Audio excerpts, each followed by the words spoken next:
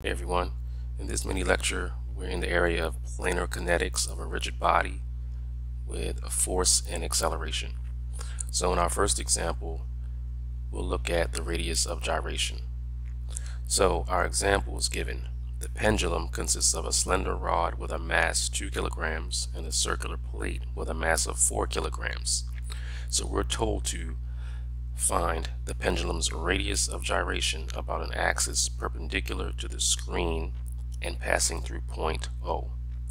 So in our planning, we're going to follow steps that are similar to finding the moment for a composite area as we've done in a previous course, statics. The pendulums the pendulum can be divided into a slender rod and a circular plate and then we'll determine the radius of gyration. Let's go ahead and take a look at our solution. So the center of mass for the rod will be at point, we'll call it G sub R from point O. So it'll be at this point from point O. Um, the center of mass for the circular plate so the center of mass, but now we're saying for the circular plate is at one meter. Is at one meter. Right, one meter, um, and it'll be G sub P. 2.5 meters from point O. 2.5 meters from point O. Okay, so the mass moment of inertia. The mass moment of inertia data is usually found within your textbooks. Some are in uh, appendix or some are usually in the front or back cover of the textbook. So using those data and the parallel axis theorem we then can go ahead and calculate the following. I sub O is equal to I sub G plus M times d squared. And then we have I sub O R is equal to 1 twelfths 2 2 squared plus 2 1 squared. And that gets us, crunching the numbers, 2.667 kilograms meters squared. All right, so we then have I sub OP. So that's 1 half 4 0.5 squared plus 4 times 2.5 squared. So that leaves us with 25.5 kilograms meters squared. Alright, so then we're going to add the two the two um, mass moment of inertias about 0.0. So add those two up. And we have I sub O equals I sub OR plus I sub OP. Adding those two gets us 28.17 kilograms meters squared. So the total mass M equals 6 kilograms. Thus the radius of gyration about O is through k is equal to the square root of i sub o over m and that's equal to the square root of 28.17 over 6 equals 2.17 meters. Our next example deals with rigid body in planar motion. The example states, given the cart and its load have a total mass of 100 kilograms and center of mass at G. A force P equals 100 newtons is applied to the handle. We neglect the mass of the wheels. So we are asked to find the normal reactions at each of the two wheels at A and B. So in planning, we're just going to follow the procedure that we've been um, looking at for analysis. So we're going to look at the cart and it's moving along a rectilinear path. We're going to draw our free body diagram and the kinetic diagram. So showing this, we have 100 newtons. And remember, we have that given triangle 3, 4, and 5. And then we have 981 newtons. Okay. We have N sub B and N sub A. All right, and then on this side, we'll have M A sub G sub X. So we have the free body diagram and the kinetic diagram. All right, so next what we'll do is apply the equation of motion in the x direction first, in the x direction. All right, so we have the summation, the forces, F sub x equals M A G sub x. All right, and for us, that gives us 100 4 over 5 equals 100 a sub g. And then we'll get a sub g, which is equal to 0.8 meters per second squared. All right, after this, we go ahead and apply the equation of motion in the y direction and then sum the moments about g. So equations of motion in the y direction. So sum of f sub y 0, which yields to n sub a plus n sub b minus 981 and then that's minus 100 times 3 over 5 by using that triangle. And it's equal to 0. Alright, and then going further with this, we go ahead and do the math. NA plus NB is equal to 1041 newtons. Alright, and then next we're going to go ahead and take sum m sub g is equal to 0.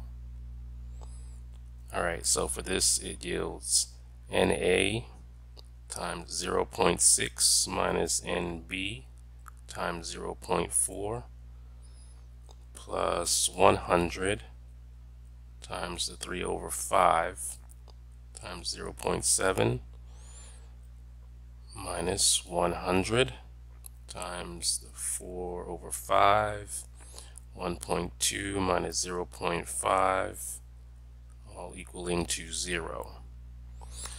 Alright, working through it, we'll get 0.6 n sub a minus 0.4 n sub b equaling the right hand side will be and everything 14 all right so we have one and two two equations there. So using equations 1 and 2 solve for the reactions right? So using equations 1 and 2 solve for the reactions n sub a and n sub b. Alright so n sub a is equal to 430 newtons and n sub b. So you can work through these and come up with the same answers. 611 newtons our third example looks at rigid body and rotational motion. Alright so the example says that given the uniform slender rod has a mass of 15 kilograms and its mass center is at point G. Um, the reaction at pin O and the angular acceleration of the rod just after the cord is cut. This is what we're trying to find. Alright, so in planning this out, since the mass center G moves in a circle of radius 0.15 meters. Its acceleration has a normal component toward O and a tangential component acting downward perpendicular to R sub g. So we're going to apply the problem solving procedure for this. So we have the free body diagram and then we have the kinetic diagram. Alright, so now let's go ahead and look at the equations of motion. So let's go ahead and start looking at those. So we have the sum F sub n equals MA sub n equals M R sub G omega squared. Alright, so then yields O sub n equals zero newtons. Alright, the next we have sum f sub t equals m a sub t and that's equal to m r sub g alpha. Okay for us it yields. Negative o sub t plus 15 times 9.81 and that's going to equal 15 times 0.15 alpha. Okay. And then we have next sum m sub o equals i sub g alpha plus m r sub g alpha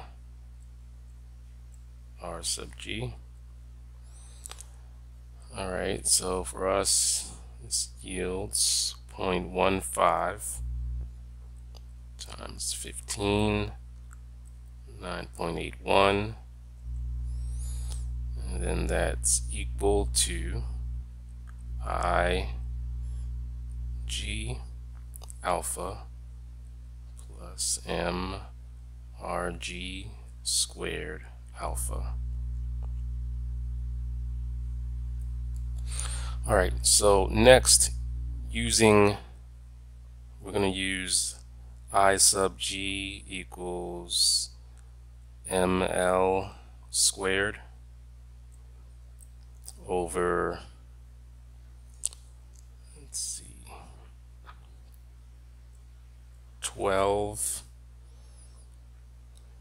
and then we're going to use RG equals 0.15 okay. So using these we can we can then write. Now we can write i g alpha plus m r g squared alpha is equal to alright so now we have the quantity this 15 times 0.9 squared divided by 12 and we add that to let's see the 15 0 times 0 0.15 squared alpha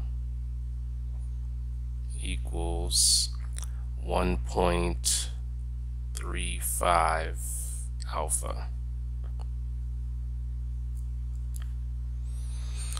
All right so now we take these and then after after um, substituting after substituting we'll have 22.07 equals 1.35 alpha. Okay so then alpha is 16.4 and then from equation let's see from the equation we'll call it equation 1 so equation 1 was up here. Call that equation 1 okay so from equation 1 we have negative O sub t plus 15 9.81 and that's going to equal to 15 times 0.15 alpha. Alright and then that brings us O sub t equals 15 times 9.81 minus 15 times 0.15 times 16.4 and then that gets us 110 newtons.